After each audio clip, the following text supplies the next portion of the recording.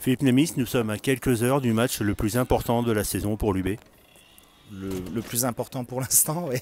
Je pense qu'ils ont tous été importants, puisque justement notre deuxième partie de saison nous permet euh, de pouvoir jouer ce dernier match à la maison face à Caen pour la qualification en playoff.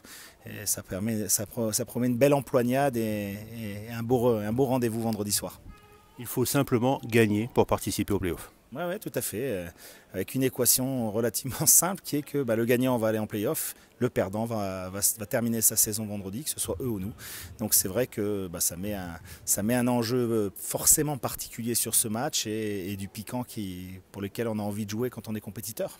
Alors justement, match particulier, ça veut dire également préparation particulière? Justement pas.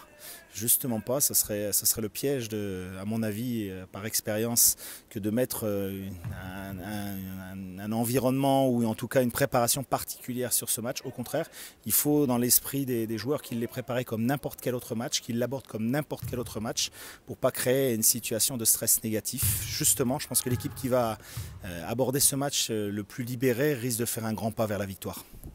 Je vous le souhaite. Merci. Merci.